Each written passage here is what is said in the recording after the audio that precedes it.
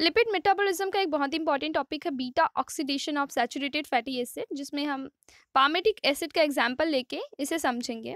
हमें पता है लिपिड हमारे सेल स्ट्रक्चर एंड फ़ंक्शन के लिए बहुत इंपॉर्टेंट है। लिपिड्स अपनी hydrophobic and non polar nature के कारण हमारी बॉडी के बाकी कंपाउंड से काफ़ी अलग है। और साथ ही साथ लिपिड अपनी फंक्शनिंग में भी काफ़ी यूनिक है। हमारी बॉडी का about fifteen to twenty percent weight lipid के कारण ही होता है। तो हमारे शरीर में जितना लिपिड प्रेजेंट है, उसका अबाउट 80 टू 90 परसेंट हिस्सा ट्राइग्लिसरॉल है, जिसमें, जिसे हम न्यूट्रल फैट या डिपोट फैट भी कहते हैं। और यह फैट स्टोर होता है हमारी बॉडी की एडिपोज टिश्यू में, जो कि बॉडी के लिए एनर्जी रिज़र्व की तरह काम करता है।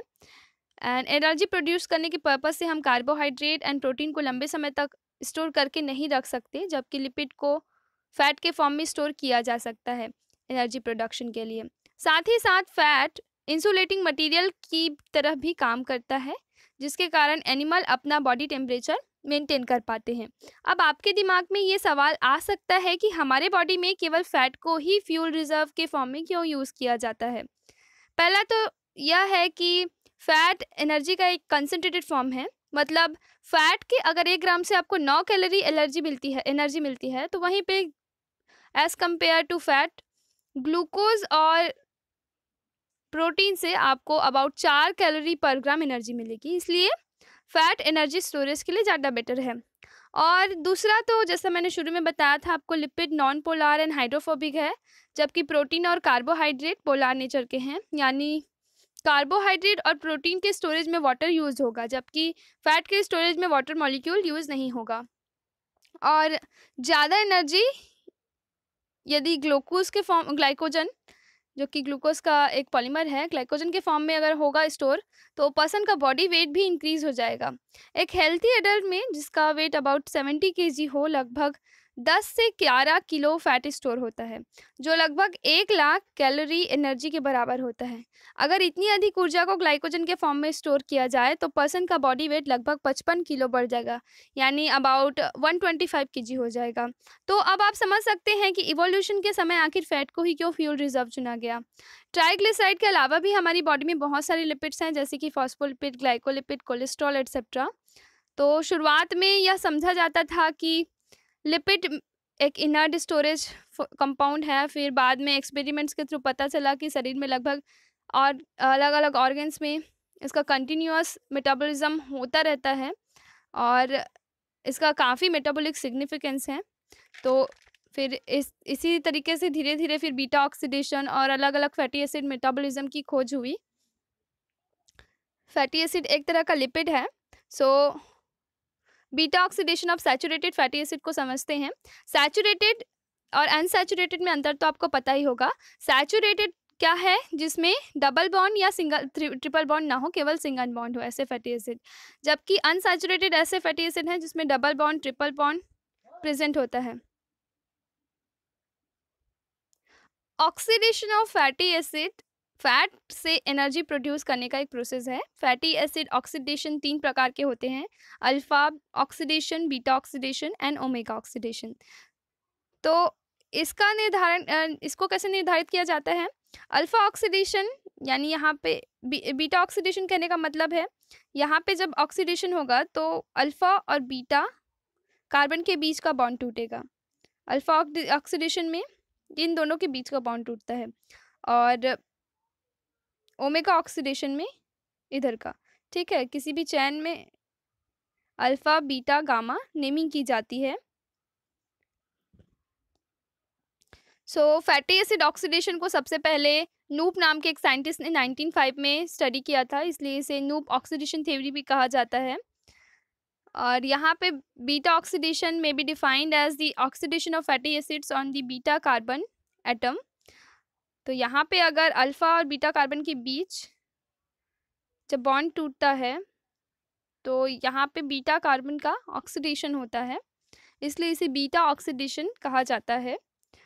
और this result in the sequential removal of two carbon fragment acetyl Co A after production acetyl Co is fed directly into the Krebs cycle okay तो पहले तो आप ये अंतर समझ लीजिए एसिटाइल कोए और इसाइल कोए क्यों, क्या है?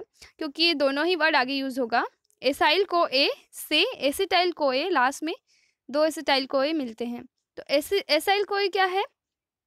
फैटी एसिड का ही चैन है जिसमें को एंजाइम जुड़ा रहता है और आर, कार्बन का चैन जुड़ा होता है। मतलब यहाँ पे अगर मैं पालमेटिक एसिड कहूँ तो पालमेटिक एसिड क्योंकि सोलह कार्बन वाला है तो यहाँ पे सिर्फ़ सी फोर्टीन होगा, ठीक है? और एसिटाइल कोए एसिटाइल कोए में केवल मिथाइल ग्रुप होगा, ठीक है? सो बीटा ऑक्सीडेशन तीन स्टेजेस में होता है। सबसे पहले एक्टिवेशन होता है फैटी एसिड का, जो कि साइटोसोल में होता है। उसके बाद ट्रांसपोर्ट होगा फैटी एसिड का माइटोकॉन्ड्रिया में, क्योंकि इसका जो माइटोकॉन्ड्रिया का इनर माइटोकॉन्ड्रियल मेम्ब्रेन है, वो फैटी एसिड के लिए इम्परमिएबल होगा। तो यहाँ पे एक सटल यूज़ होता है। उसी के ज़रिए ये साइटोसोल से माइटोकॉन्ड्रिया में ट्रांसपोर्ट होगा। और बीटा ऑक्सीडेशन होगा, फिर मेन बीटा ऑक्सीडेशन होगा माइटोकॉन्ड्रियल मैट्रिक्स में, ठीक है? तो ये तीनों स्टेप इन्वॉल्व होते हैं beta oxidation of saturated fatty acid में। ये डायग्राम बहुत इंपॉर्टेंट है, इसको आप याद रखिएगा, बना के प्रैक्टिस करिएगा। यहाँ से यहाँ तक ये फ़र्स्ट स्टेज है, उसके बाद सेकेंड स्टेज है। यहाँ कार्निटीन सटल सिस्टम होता है, जो कि माइटो, इनर माइटोकॉन्ड्रियल मेम्ब्रेन में प्रेजेंट होता है। उसके बाद थर्ड है जो जो कि प्रॉपर बीटा ऑक्सीडेशन है इसमें लास्ट में दो एसिटाइल कोए बनते हैं। सो so, पहले ये देखते हैं। पहला स्टेप है activation of fatty acid fatty acids are activated to acyl Co A by thiokinase और acyl Co A synthetase the reaction occurs in two steps यहाँ पे ये स्टेप्स है and requires ATP coenzyme A and M G two plus magnesium two plus fatty acids reacts with the ATP to form acyl adenylate which then combines with coenzyme A to produce acyl CoA. In the activation two high energy phosphates are utilized since ATP is converted to phosphate. The enzyme inorganic phosphatase hydrolase is to phosphate the immediate elimination of inorganic phosphate inorganic pyrophosphate makes this reaction totally irreversible so देखिए अब simple language में समझते हैं ये fatty acid है fatty acid convert होगा acyl adenylate में, उसके बाद एसाइल कोए में। तो फैटी एसिड से एसाइल कोए का कन्वर्जन, ये पहला स्टेप है, यहाँ पे एक्टिव, इसे एक्टिवेशन स्टेज कहते हैं फैटी एसिड का। तो एक्टिवेशन ऑफ़ फैटी एसिड दो स्टेप का प्रोसेस है। पहले में क्या होगा, फैटी एसिड एसाइल एडिनाइलेट में कन्वर्ट होगा with the help of enzyme thiokinase, और उसके बाद फिर एसाइल एडिनाइलेट कन्वर्ट होगा एसाइल कोए में। यहाँ पे को एंजाइम इससे जुड़ता है। ठीक है? तो थायोकाइनेज का जब रिएक्शन होता है तो यहाँ पे एक एटीपी यूटिलाइज होगा एसाइल एडिनाइलेट के फॉर्मेशन के लिए। तो यहाँ पे जो पायरोफॉस्फेट रिलीज़ हो रहा है, ये इनऑर्गेनिक पायरोफॉस्फेट है और ये ऑर्थोफॉस्फेट है। इनऑर्गेनिक पायरोफॉस्फेट से पायरोफॉस्फेटेज एंजाइम के प्रेजेंस में ये ऑर्थोफॉस्फेट में कन्वर्ट हो जाता है। इसलिए चूँकि यहाँ पे हॉस्फोरस निकल गया पूरा यहाँ से ये पूरा सेपरेट हो जाता है, इसलिए ये रिएक्शन पूरी तरह से इरिवर्सिबल हो जाती है। मतलब फैटी एसिड अगर एक्टिवेटेड फॉर्म में कन्वर्ट हो गया, मान लीजिए पालमिटिक एसिड कहें, जो कि एक सिक्सटीन कार्बन कंपाउंड है पालमिटिक एसिड जो कि एक फैटी एसिड है, जब एक्टिवेट होगा तो वो पालमेटाइल कोए में कन्वर्ट होगा। एसाइल की जगह आप यहाँ पे आ जाएगा पालमेटाइल क्योंकि यहाँ पे ये आर की जगह पालमिटिक एसिड का कार्बन ग्रुप जुड़ेगा। सो पालमेटाइल कोए में कन्वर्ट होगा उसके बाद ये एक्टिवेट होगा और आगे फिर सेकेंड स्टेप में एंटर करेगा। तो ये होगा एक्टिवेशन ऑफ़ फैटी एसिड। देखिए, पामेटिक एसिड को डायरेक्टली पामेटिक एसिड का डायरेक्ट बीटा ऑक्सीडेशन नहीं हो सकता, उसका एक्टिवेशन ज़रूरी है। किसी भी सेचुरेटेड फैटी एसिड का direct third, direct mitochondrial matrix में ऑक्सीडेशन नहीं होता, पहले वो उसका साइटोसोल में एक्टिवेशन होगा, उसके बाद वो सटल सिस्टम के थ्रू माइटोकॉन्ड्रियल मैट्रिक्स में एंटर करेगा, फिर उसका वहाँ पे प्रॉपर बीटा ऑक्सीडेशन होगा। सेकेंड स्टेप है, transport of acyl Co A into mitochondria. The inner mitochondrial membrane is impermeable to fatty acids a specialised carnitine shuttle carrier system, जिसे carnityl shuttle भी कहते हैं, operates to transport activated fatty acid from cytosol to mitochondria. This occurs in four steps तो इन चार step में पहला step है acyl group of acyl CoA is transferred to carnitine जिसे beta hydroxyl gamma trimethyl amino butyrate कहते हैं catalyse by carnitine acyl transfer is one present on the outer surface of inner mitochondrial membrane. The acyl carnitine is transported across the membrane to mitochondrial matrix by a specific carrier protein. Carnitine acyl transferase second found on the inner surface of the inner mitochondrial membrane converts acyl carnitine to acyl CoA. The carnitine released returns to cytosol for reuse. अब ये second step को simple से समझिए diagrams के through so acetyl CoA यहाँ पे है, ये इनर माइटोकॉन्ड्रियल मेम्ब्रेन है, ठीक है ये एसिटाइल कोए साइटोसोल में है अब ये इनर माइटोकॉन्ड्रियल मेम्ब्रेन की इनर सर्फ, आउटर सरफेस पे। ये आउटर सरफेस है इनर माइटोकॉन्ड्रियल मेम्ब्रेन का, ये इनर सरफेस है। सो, आउटर सरफेस पे प्रेजेंट होता है carnitine acyl transferase one enzyme. इस एंजाइम, ये एंजाइम कैटेलाइज करता है एसाइल कोए के। एसाइल कार्निटीन में ट्रांसफ़र फॉर्मेशन को, ठीक है?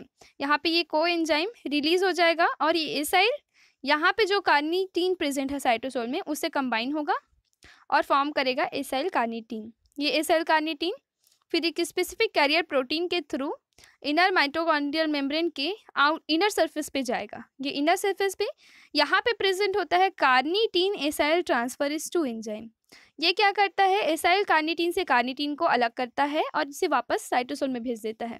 और ये जो एसाइल है वो को एंजाइम से बाइंड करेगा और वापस एसाइल कोए में कन्वर्ट होगा। पामिटिक एसिड के केस में ये पालमेटाइल कोए में कन्वर्ट होगा।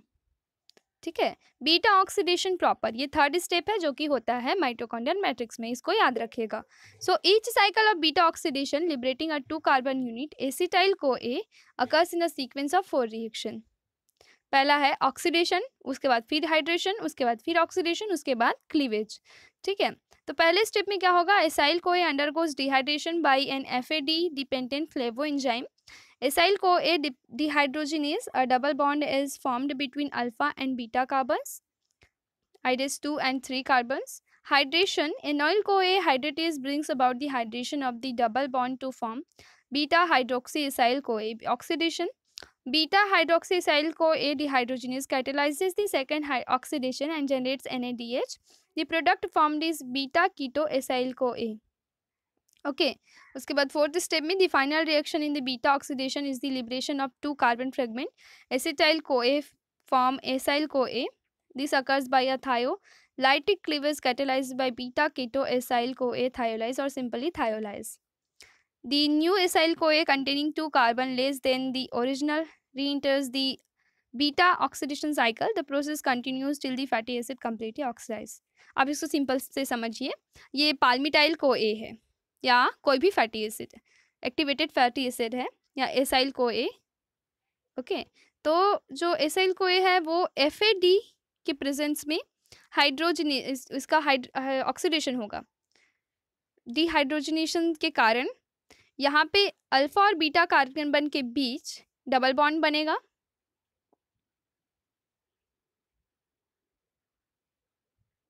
उसके बाद ये with the help of enzyme acyl CoA dehydrogenase trans del square enoyl CoA में कन्वर्ट होगा। उसके बाद फिर एनाइल कोए हाइड्रोचेज एंजाइम के कारण और एच टू के प्रेजेंस में इसका हाइड्रेशन होगा, जिसके कारण यहाँ पे बीटा हाइड्रोक्सी एसाइल कोए बनेगा, जो कि beta hydroxy acyl CoA dehydrogenase enzyme के द्वारा वापस यहाँ पे ऑक्सीडेशन होगा, जिससे NADH बनेगा। यानी यहाँ पे ये एनर्जी प्रोड्यूस करने का स्टेप है। और उसके बाद क्या होगा? ये फर्दर इसका क्लीवेज होगा। ओके? तो क्लीवेज में क्या होगा? जो एसिटाइल कोए ग्रुप था, वो एसाइल कोए से अलग होगा। और ये तब तक होगा जब तक कि लास्ट में दो एसिटाइल को ए ना रिलीज़ हो जाए। मतलब लास्ट में दो एसिटाइल कोए ना बच जाए। जैसे कि पालमेटाइल कोए के केस में यहाँ पे आठ बार ये प्रोसेस चलेगा बीटा ऑक्सीडेशन का। क्योंकि लास्ट में फिर एसिटाइल कोए बनेगा, दो एसिटाइल कोए हमें मिलेगा। अब इसमें एनर्जी कितना मिला पामेटिक एसिड के ऑक्सीडेशन से? वो देखते हैं। रिएक्शन कुछ इस तरह होगा, ये रिएक्शन समरी है। तो ये पालमेटाइल कोई लिखा रहेगा तो कंफ्यूज मत होइएगा, ये एक्टिवेटेड फॉर्म है। एक्चुअली में इसी का बीटा ऑक्सीडेशन होता है। सात साइकिल चलते हैं बीटा ऑक्सीडेशन के पामेटिक एसिड के केस में। तो यहाँ पे सेवन एफ़ टू जो कि ऑक्सीडाइज होगा इलेक्ट्रॉन ट्रांसपोर्ट सिस्टम में। और हर एफ़ टू देता है दो एटीपी तो उसके हिसाब से चौदह ए टी पी यहाँ पर इल्ड होगा। और सेवन एन फॉर्म हुआ था, जो कि ईटीसी में जाके तीन एटीपी देता है तो यहाँ पे इक्कीस इल्ड होगा। और एसिटाइल कोए से मिलेगा, जो कि सिट्रिक एसिड साइकिल में जाएगा तो उसके ऑक्सीडेशन से मिलेगा छियानवे ए क्योंकि एक एसिटाइल कोए प्रोवाइड कराता है बारह ए सो बारह अट्ठे छियानवे। And energy from one mole of palmitoyl CoA from one mole of palmitoyl CoA is one thirty one तो काफ़ी ज़्यादा एनर्जी है। एंड एनर्जी कुछ यूटिलाइज भी हुआ था शुरू में। तो यहाँ पे दो ए माइनस कर देंगे। टोटल नेट एनर्जी ईल्ड क्या होगा? वन ट्वेंटी नाइन ये पालमिटेड वर्ड यूज़ हुआ है। एक्चुअली पालमिक ये पालमिटिक एसिड जो है वो अबाउट सेवन पीएच पे पालमिटेट में कन्वर्ट हो जाता है।